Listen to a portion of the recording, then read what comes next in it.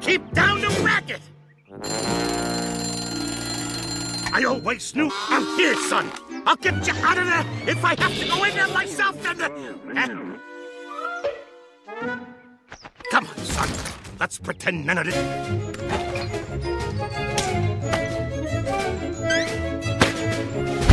enough. You both got one foot out the door permanently. I'm starting to agree with you, Rick. Spike, what on earth has gotten into you all of a sudden?